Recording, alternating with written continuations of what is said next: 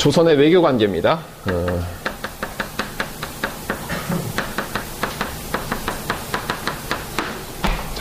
자, 조선의 외교 관계를 에, 칠판에서 일단 다 정리하고 갈게요. 음.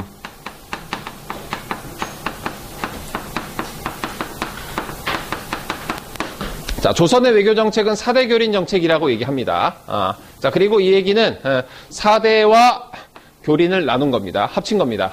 어, 사대 정책 더하기 교린 정책이에요. 어, 음. 그래서 어, 사대에 해당하는 나라는 어, 명나라고요. 어, 그리고 이제 교린에 해당하는 나라는 그 외 다른 나라들 에, 여진 그리고 이제 에, 일본 어, 어, 기타 등등 되겠습니다. 그래서 어, 이걸 전체적으로 표현하면 조선의 정책은 어, 우리는 number two다 정책이에요. 어, 자, 나는 number two가 되겠다. 어, 도, 되게 독특한 의지죠. 어, 주변을 상황을 고려했을 때 나는 number two가 되겠다. 이건 뭔 얘기일까? 넘버원한테는 함부로 개기지 않겠다. 왜? 나보다 센 녀석이니까. 그리고 배울 것도 많으니까. 걔랑은 무조건 그냥 모셔주면서 자존심 세워주면서 치켜 올려주면은 그래, 어, 너 착한 애구나. 너 알아서 해. 참 착하게 살아라. 이런 식으로 잘 대해줄 것이다. 이게 기본적인 정책입니다. 그 동아시아 지역에서 전체적으로 나타나는 질서가 있어요. 일명 책봉 조공 관계입니다.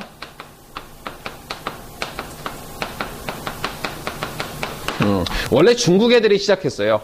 중국에 이제 제일 처음에 이제 왕이 있었고 왕이 주변 애들한테 야 너 이 동네 잘 다스려 이런 식으로 자기 나라를 지배하던 방식입니다. 어, 이 동네 네가 다스려 이 동네 네가 다스려 각각 다스리게 하던 식의 방식들 그리고 각 지역을 다스리는 사람들은 중앙에 있는 사람한테 예, 조공을 바치고 그리고 각 지역에 있는 사람 그래 네가 다스려라고 책봉해 주는 방식 이 관계를 책봉 조공 관계라고 해요. 원래 중국 내부에서 다루는 일종의 이제 좀 연방제스러운 그런 식의 성격에 가진 것이 책봉 조공 관계이기도 합니다. 어, 그런데 이걸 갖다 중국이 예, 동아시아 전체에다 적용을 합니다. 그래서 내가 이 동네에서 왕이다, 어, 최고다, 황제라고 부르죠. 그리고 니네들은 어, 우리를 모시는 나라다 이런 식으로 취급을 합니다. 그래서 이 number two 정책이라는 거는 다른 말로 얘기하면은 넘버 원한테 개기지 않는다. 어, 넘버 원 누구? 이 당시 중국?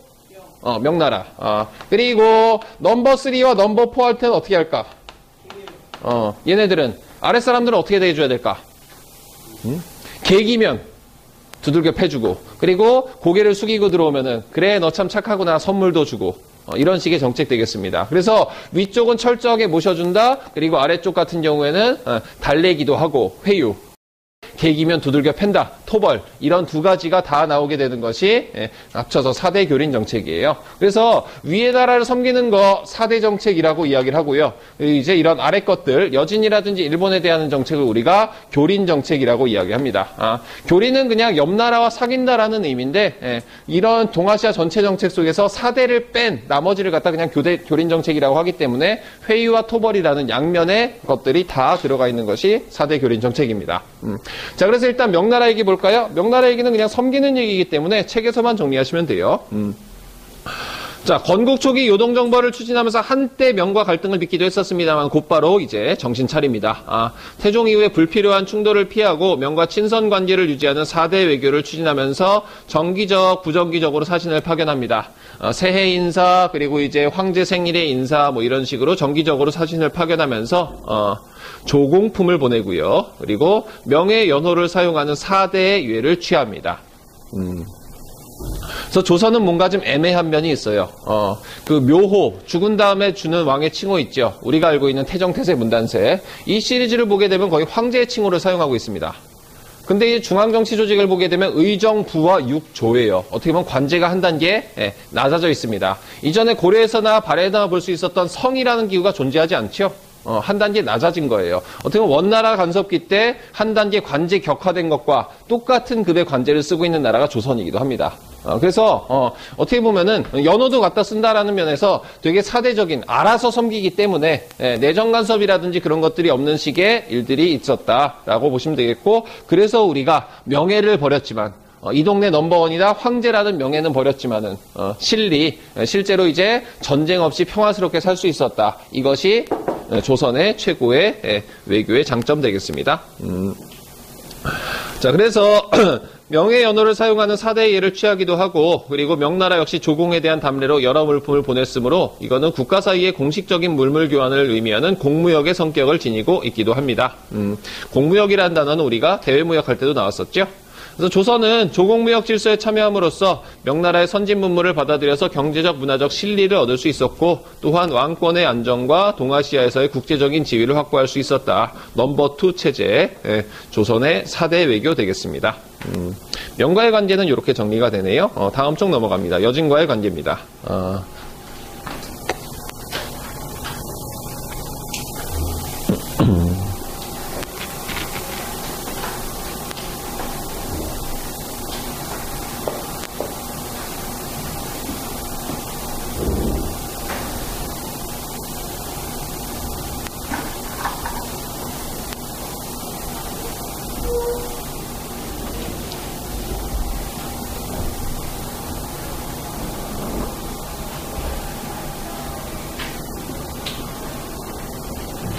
자, 설명하면은요, 여진에 대해서는 회유와 토배를 병행하는 교린 정책을 추구했다고 합니다. 자, 그래서 회유책에 해당하는 것들이 먼저 나와요. 어, 협력하거나 귀화한 자들한테는 관직과 토지 등을 지급합니다. 어, 아래 것이 이렇게 굽히고 들어오고 우리를 위해서 이쁜 짓을 하면은 상을 줘야겠죠. 국경 지역에 무역소를 설치해서 제한적인 교류를 허용하기도 합니다. 무역소 설치한 이유는 얘네들은 왜 쳐들어온다? 먹을 게 없어서. 그러므로 어떻게 합법적으로 먹을 걸 공급해주면은 음, 쳐들어올 일이 없다. 그런 의미에서 어, 수출품과 수입품까지 보시면 이해가 될 겁니다. 우리가 수출하는 건 뭐가 된다? 식량, 농기구 등 농업에 관련된 것들이죠. 반면에 수입하는 것들은 말, 모피, 은 같은 것들, 어, 식량과는 그렇게 크게 관계가 없는 것들입니다.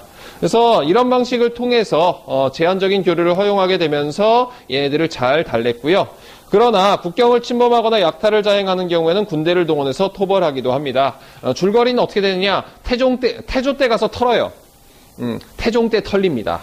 그리고 이제 세종 때 다시 털어버리면서 우리나라 국경선을 확정합니다. 그게 이제 사군 설치, 육진 설치입니다. 음, 압록강 지역에 최윤덕을 파견해서 사군을 설치하고요. 두만강 지역에 김동서를 파견하면서 육진 설치하면서 국경선을 확정합니다. 그래서 국경선이 압록강, 백두산, 두만강으로 이어지는 국경선이죠. 그리고 이 지역을 개발하기 위해 삼남지방, 아, 경, 이 삼남지방이라는 건 남쪽에 있는 세 개의 지방, 충청도, 전라도, 경상도를 얘기합니다. 그 지역의 주민들을 이주시켜 정착하게 하는 3인 정책을 실시하기도 합니다. 또한 토착민을 토관으로 임명해서 민심을 수습하고자 했대요. 어, 자, 사군육진 개척했다고 치자. 기존에 우리나라 국경선이 여기인데 사군육진이 개척이 됐어요. 여기는 그럼 누가 살고 있을까?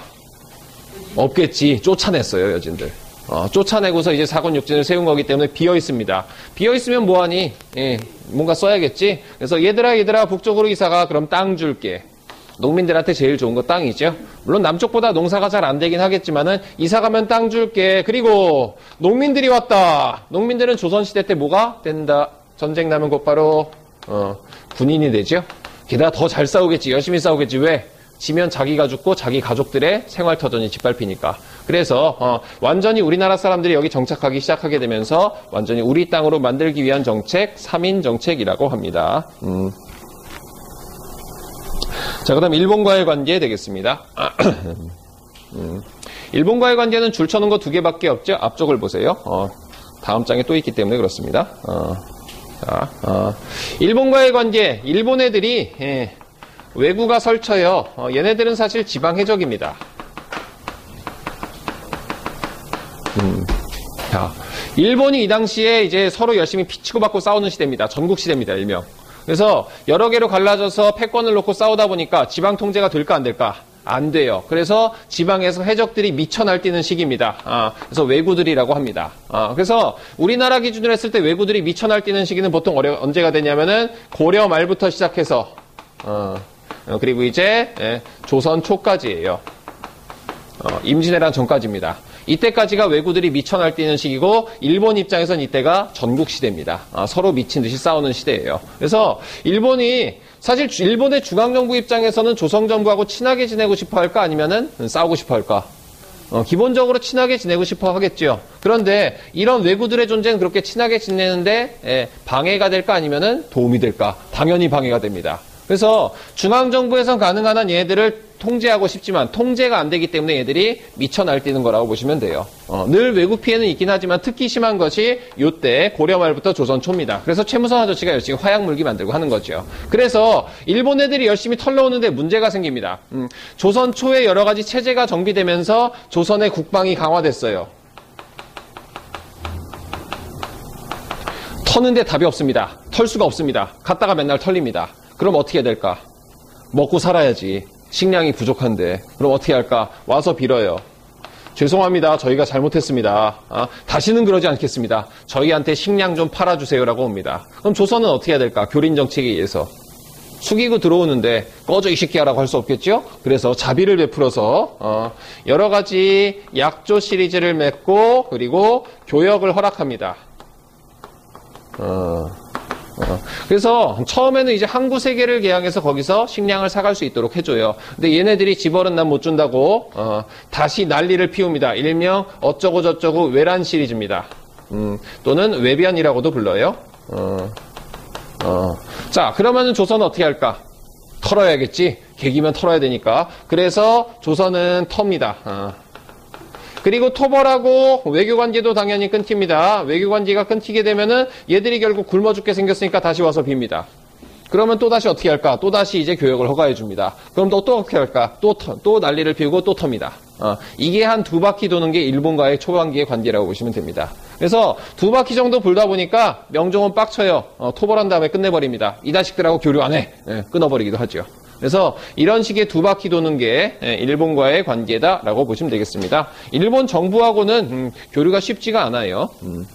자, 그래서 내용 보시면은 일본에 대해서도 일단 교련 정책을 원책으로 하면서 일본의 막부 정권은 조선에 외교사절을 파견하고 조선에서도 일본의 외교사절을 파견하기도 합니다. 아, 그리고 이제 대마도 조공의 형식으로 교역하기도 하는데요. 어, 자, 그래서 경제적인 교역들 역시나 얘네들도 주로 수입해 가는 거는 예, 곡식이죠. 음, 이제 목화도 이때 예, 더불어서 넘어갔다라고 합니다. 아. 자, 그리고 다음 장 넘어가서 보겠습니다. 근데 문제는 왜구입니다. 아, 고려 말부터 계속된 왜구의 침략으로 폐해가 심해지자 조선은 수군을 강화하고 화약 무기를 개발하면서 왜구를 격퇴하게 되죠.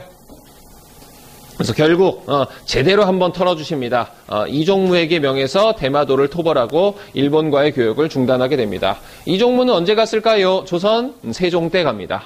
어, 세종대왕 참 이것저것 많이 하셨죠? 어, 아까 나왔던 사건육진이라든지 대마도 토벌이라든지 여진 일본과의 관계에서 가장 큰 뭔가 군사적인 성과는 전부 다 세종대입니다.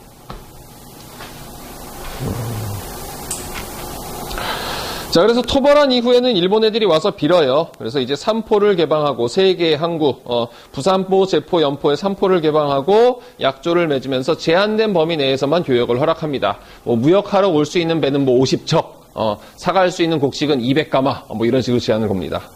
어. 그러나 아, 얘네들에 대한 통제를 강화하자 얘네들이 반발해서 삼포외란이라든지 을묘외변 같은 여러 가지 외변들을 일으키도 해요. 음, 그럼 가서 털어주겠죠. 어. 자, 그럼 마지막 기타 등등 나라입니다. 여기 나온 나라 세 개 외에 기타 등등 나라들 유구, 시암, 자바 세 개가 나오는데요. 어, 오늘날에 어딘지만 얘기하고 넘어갈게요. 어, 자, 유구는 어디게? 어, 일본 여러 가지 드라마나 아니면은 만화 같은 데서 일본 학생들이 수학여행으로 많이 가는 곳. 우리나라의 제주도 같이 일본 남쪽으로 있는 작은 섬 어, 오키나와입니다. 어, 원래 독립국이에요. 어, 원래 독립국이고 잘 발전했고 이때가 전성기라고 보시면 됩니다. 그러다 나중에 시름시름 앓다가 어, 일본 애들한테 먹힙니다. 그래서 오키나와 사람들이 일본 땅이긴 하지만은 걔네들 고유의 언어가 있고요. 그리고 걔네들도 차별받아요.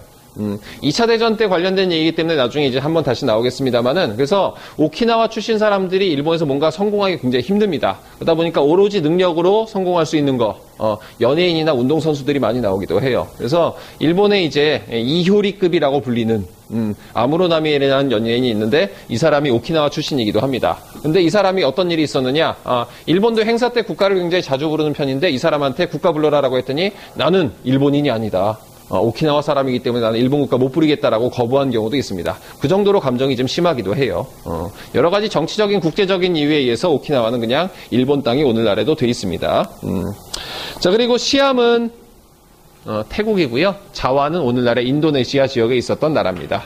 그래서 아무래도 제일 가까이 있었던 나라하고 교역이 활발하겠죠. 특히 유구와의 교역이 활발했다라고 해요. 어, 여러 가지 전해줬답니다. 음, 그래서 거기까지 여러분들이 봐주시면 되겠습니다. 다음 시간에